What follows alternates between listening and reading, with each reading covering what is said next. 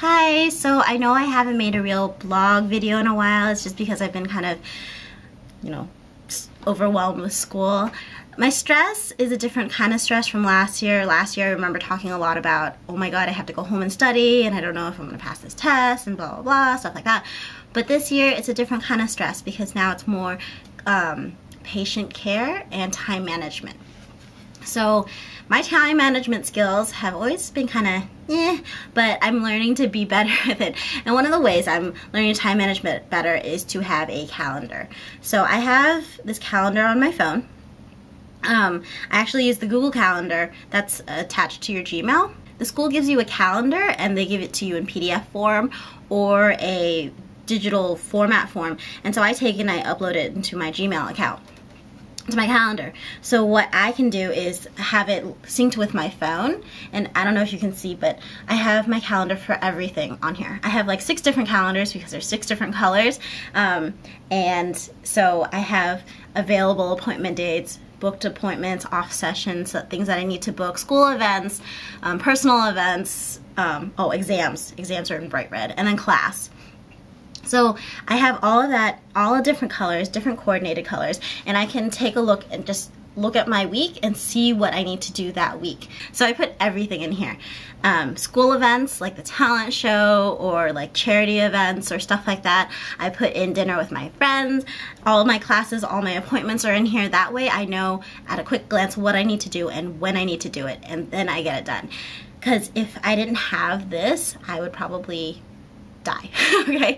My phone and my computer are the two things that I really, really need for school. So everything I do is on those things.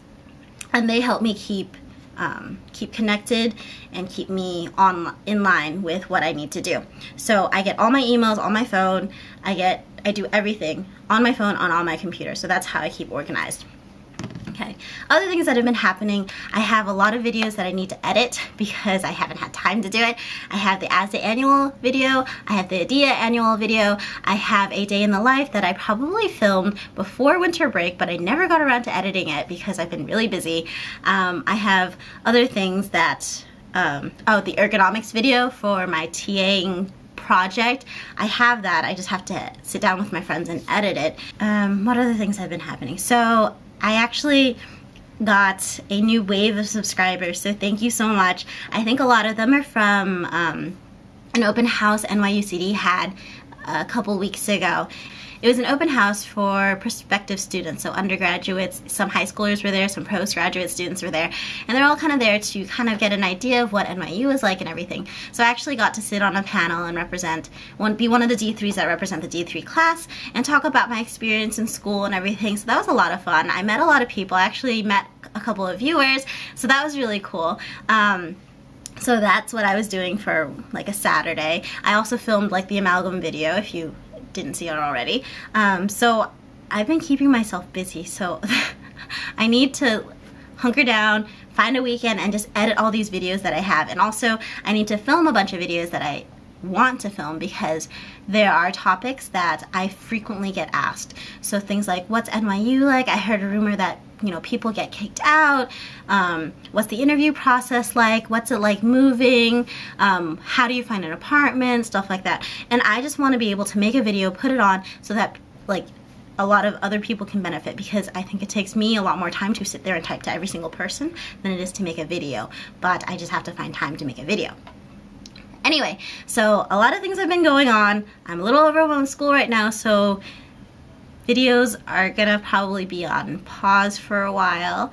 Um, but I will find time for them because I really do enjoy making these videos and every time that somebody says something nice like oh my god thank you so much I've learned a lot from your videos or I never knew that and thanks so much for sharing it really makes me feel good because I I think I would have benefited a lot if there was somebody that did this for when I was in like applying or if I was in dental school or something like that. So that way I wouldn't be so stressed and I wouldn't be so, oh my God, I don't know what's going on. So I think it's really nice that everyone's watching and thanks so much um, for encouraging me and, you know, making me smile and everything.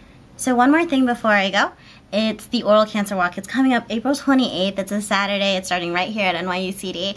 And I think it's a really good cause. All the money is going to Oral Cancer Foundation.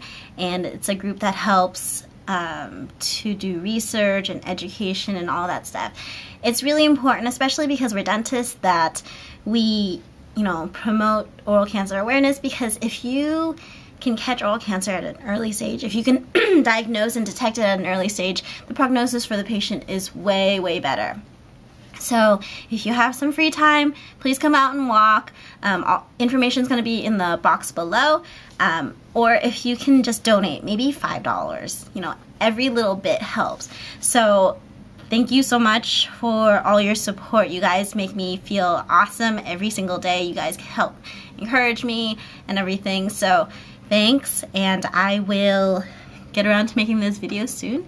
And good luck. If you have any questions, let me know. Please subscribe. Thanks.